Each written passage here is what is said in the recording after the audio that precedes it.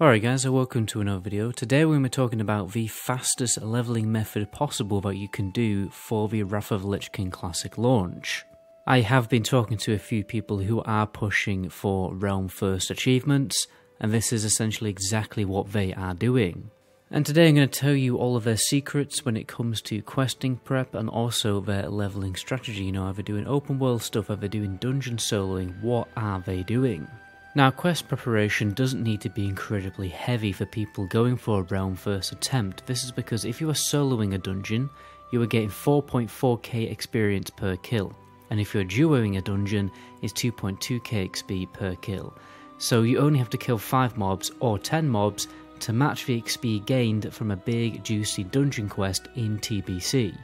This doesn't mean that heavy quest prep like my guide isn't useful for the average player because for the average player you're going to be at a huge advantage if you can get to level 71 before you hit Northrend because then you can jump straight to Dragonblight and get ahead of everyone. Because it's very likely that people actually going for Realm first will not be doing open world leveling, especially if they're streaming because then they run a lot of risks of getting ganked and having quest competition. However, they will not stay in dungeons forever. I'll talk a little bit more about that later.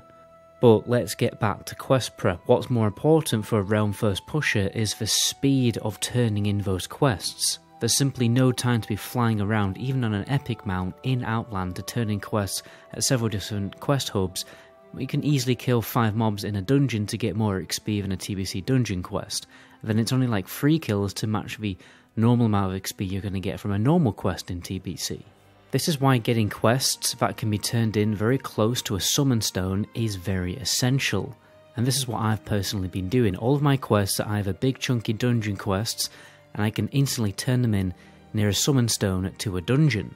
Sometimes a little bit of flying is required. For instance, when I get summoned to Rampart, I'll have to fly up to Honourhold to turn in some quests, but I'll be turning in three Shattered Halls quests for 25k XP each, the Omnious Report for an extra 8k, and I've also pre-prepped the Shattered Halls key quest that gives an extra 44k XP. I will also have to fly around Zangarmarsh a little because I've got huge turn-ins dotted around the zone, but once everything is turned in I'll have 200k XP just from that zone alone, and this is because of the Sporeggar rep quest that I can have pre-prepared with items without having the quest in my quest log. And to be honest, the extra time spent here isn't really that much of an issue because I need to go and get two other people to run to the Nexus to summon me there instantly. Otherwise, I'd have to run there on my own. All that time spent running to the Nexus is time that could be spent gaining experience points, so it will be a total waste of time. This means I'll be constantly gaining XP from the moment I start turning in quests in TBC to the moment where I get summoned to the Nexus and start grinding the rest of the way. There'll be absolutely no breaks.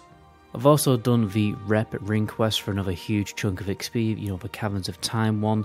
Should give me nearly 150k XP since I have the Vials of Eternity raid quest and the Black Morass quest to turn in straight away.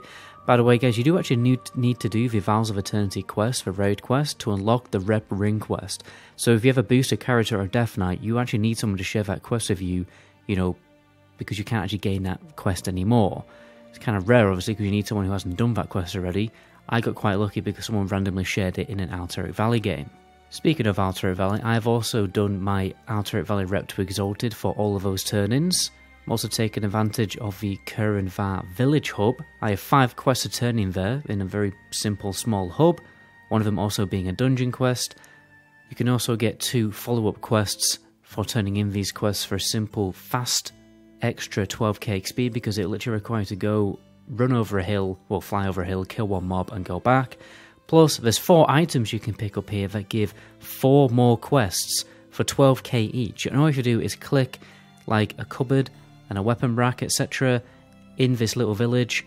It takes like 30 seconds for an extra 48k XP. So that's 144k XP in around about 2 minutes. And I can get summoned there with the Tempest Keep Summoning Stone, but what I will say is people taking the extra mile will probably have Warlocks positioned even closer to these quest hubs for the turn-ins, rather than having to rely on Dungeon Summoning Stones.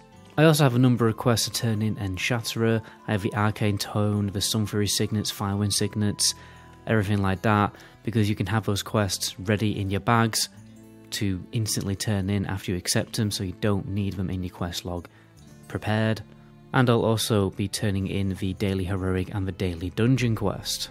And from there, I can very easily take a portal to Stormwind or Orgrimmar, you know, if I was playing Horde, and get straight to the Nexus, or get summoned there if I can get two other people to go and summon me. You can get yourself summoned with two other friends to all of these locations. There's six different locations in total. You basically need two people with six level 70s to really pull this off properly, but you can ping pong summons yourself. Say, for instance, you know, your friends only have four level 70s, you can have your own characters ready at the stones so that you can kind of like summon them and then they can summon you with a simple relog. Also, the summon stones only require you to be the same level as the dungeon, so for instance, Rampart, you only actually have to be level 58 to summon a level 70 there. And I will have my Hearthstone set to Shattrath so I can summon myself uh, there, because obviously there's going to be no actual summoning stones in Shattrath. And then obviously I will either have to run to the Nexus or get summoned there. Now, first of all, why would you do the Nexus over Utgard Keep? Well, there's a number of reasons really. First of all, it has more enemies. You don't have to waste time killing the bosses in order to gain access to all those enemies. And by the time you've got round the whole dungeon and you've killed all the mobs, you're pretty much already back at the start of the dungeon, so there's much less time running in and out and resetting compared to Utgard Keep. Because obviously in Utgard Keep, you do have to like, you know, once you've killed the last boss, or if you're going to skip that, you jump down and then you have to, you know, run out and it takes a little longer. It's not that much longer, there's probably not that much difference really. I just think the Nexus is going to be better because you actually do also get more XP per run. There just really feels like there's a better mob density in the Nexus.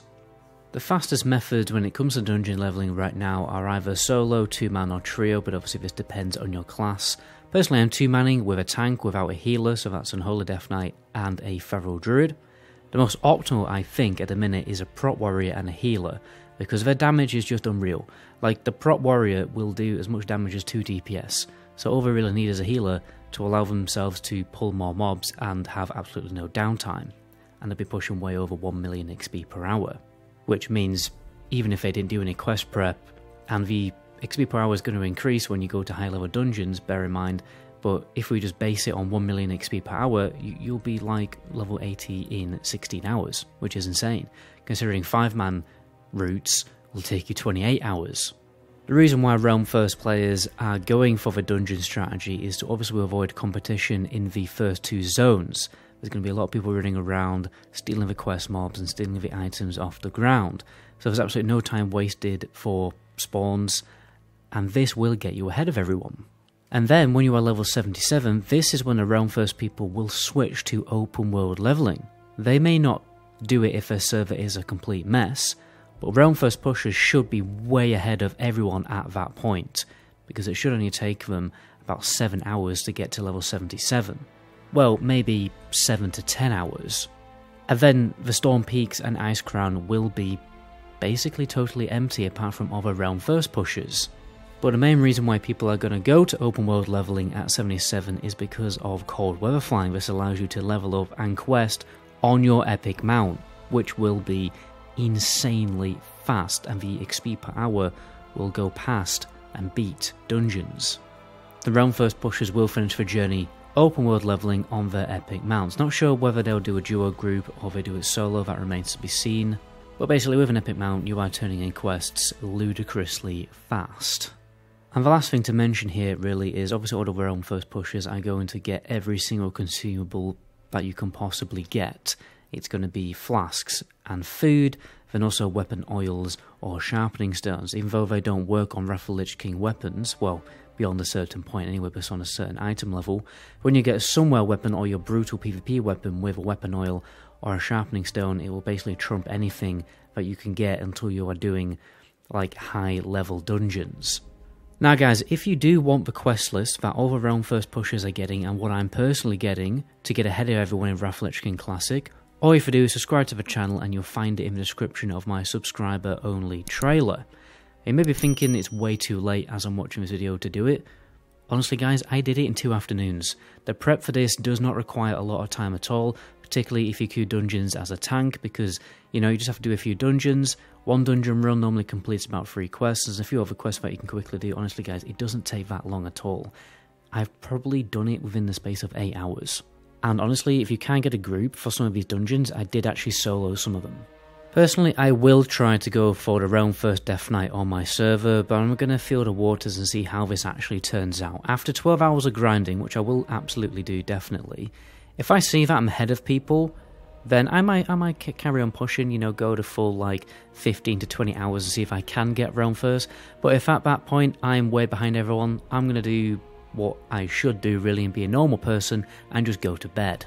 Obviously, you can follow the journey of great achievement or great failure on my Twitch because I will be streaming the whole thing on Twitch at MetaGoblin1. You can check that out in the description down below as well. But anyway, my name is MetaGoblin. Until my next video, ciao.